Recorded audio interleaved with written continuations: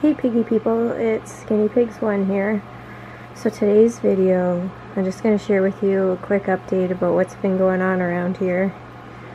It has easily been the most stressful almost two weeks ever to deal with pig issues. So there is a um, sectioned off area, two of them. So Reese is over here, and Velvet is back here in a much smaller section. So, if you didn't watch my last video about what I think about spaying and neutering, you might want to watch that. I'll put it up in the iCards, then you can kind of have a better understanding of my mindset about spaying and neutering guinea pigs. So, if you guys don't know, I have 10 pigs.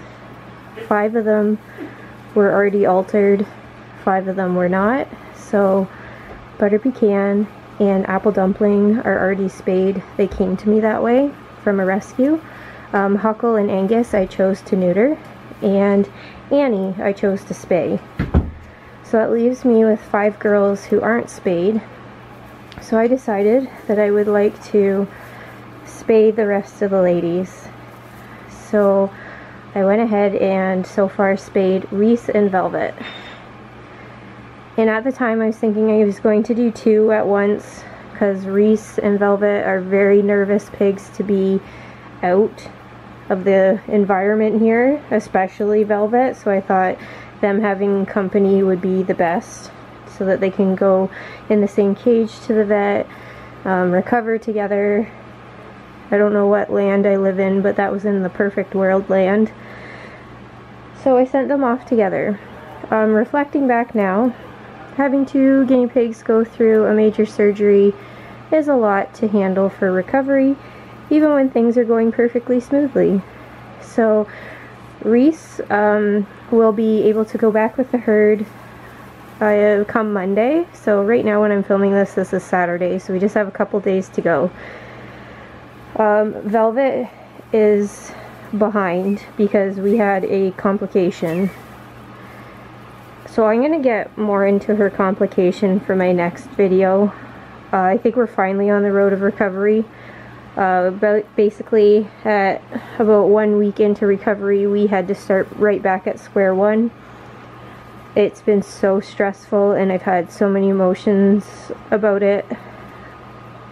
With any surgery, there's risks and there's complications that can happen post-op and unfortunately we had some post-op complications that have nothing to do with um, the place we had the surgery done so I don't want anybody to think that. Um, the medical staff at the clinic where we went has been awesome and super supportive and very helpful. It's just it's one of those things. Of course I had one of those pigs that had um, one of those crazy complications that you can possibly have from spaying. So that's where we're at right now. Um, Velvet's been an absolute dream to look after. She is so shy, but she's really coming around for me handling her because I've had to handle her a lot. I cannot wait for her to get to go back with the herd and to be all recovered. I am going to have to take some time to think about spaying the last three girls because this has shaken me up. I do believe what's happened with her is like rare and not something that commonly happens, but still. Um, I'll have to speak with the vet who does the spaying to get her opinion on it as well, see if her mind has changed at all for spaying the other ladies and what have you. So uh, we go Tuesday for um, her to get checked up again.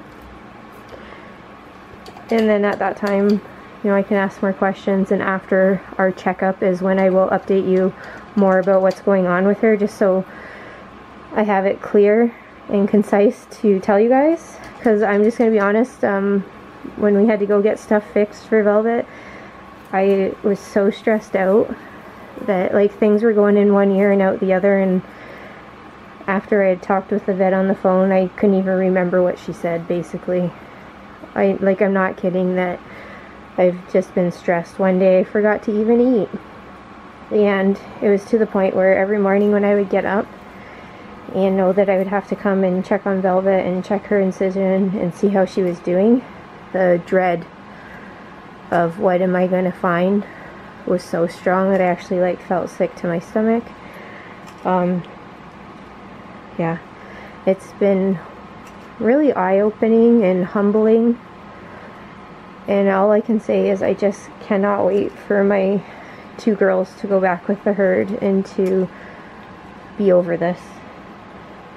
I think the hardest thing about this is knowing that this was something that I chose for them. And again, if you watched my video, you'll know it's so that they don't have to deal with the crazy hormone mood swings, so that they don't have the risk of uterine cancers or ovarian cysts later. So I did it for their health, but then to have a complication happen and know it's because I chose to have her go through the surgery um, was really messing with my head. Um, and then another thing that's come up is Apple. I didn't tidy her bum every single night like I always have. And if you know anything about Apple, back in the day she used to get fungal infections, like yeast fungal infections, um, all the time if I didn't keep her tidy. So it's been, I want to say almost a year and a half or two years of me just tidying her bum and she's been perfect.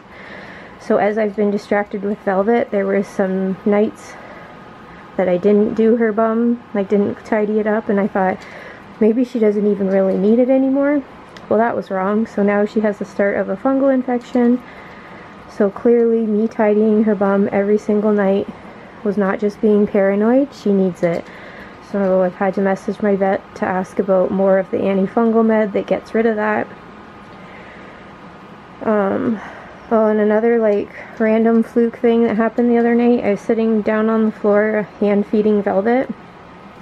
And up here in the herd cage, I heard a huge loud commotion. So it sounded like somebody ran really fast. And then all of a sudden I heard crying. And it was the sound that like I can't even describe to you guys. I have never heard it before. But like it set off like a huge red flag. So I carefully had to get Velvet situated so that I could stand up and Pecan was lying completely on her back, and Raisin wasn't too far from her. So I know exactly what happened just because of Raisin. Um, she only has one eye, so it happens a lot that she'll run into a pig and not see them. Especially if she gets startled, she'll just zoom. So I am guarantee you that she zoomed and absolutely ran over Pecan, knocking her over. So Pecan was um, eating hay over here and there's a liner here so there's a step down so I bet she tipped her over maybe ran over top of her completely flipping her over. But when I stood up Pecan was on her back crying and she was trying to roll over but she couldn't.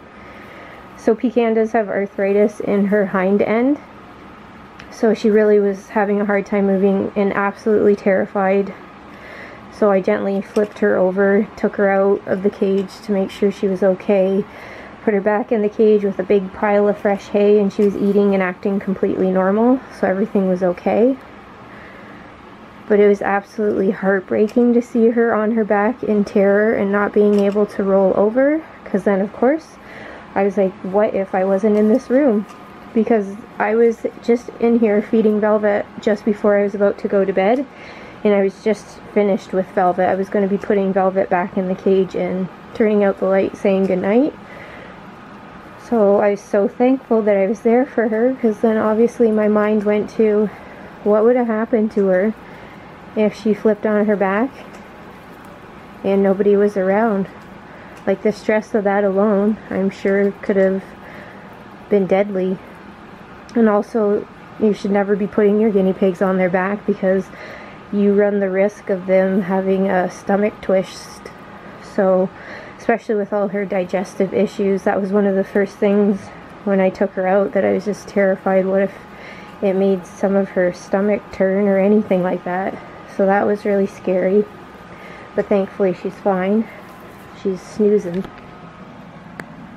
Hi, gorgeous. You scared, mommy?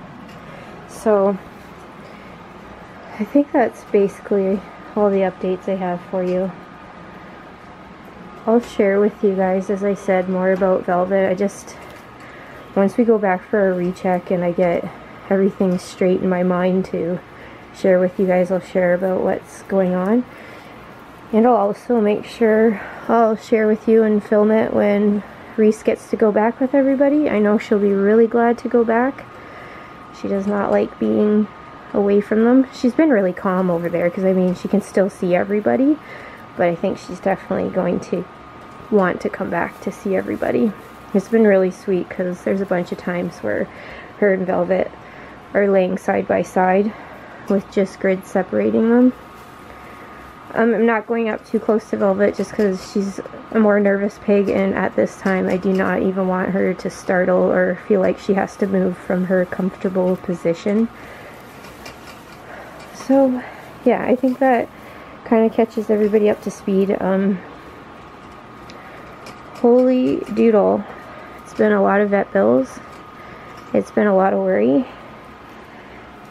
Uh, and it's been a real, real learning experience. And as I said, I've got some really big thinking and discussing to go on to figure out how we move forward with stuff or if my plan of spaying the other girls is not reasonable or isn't a good idea. I don't know. So anyway, um, thanks for all your support, guys. Bye-bye. If you like watching guinea pig videos, learning how to care for us, seeing product hauls or reviews, or really anything else guinea pig, please subscribe and make sure you hit that notification bell so you never miss a video. Down below I've left two more videos for you to pick from, so keep on watching.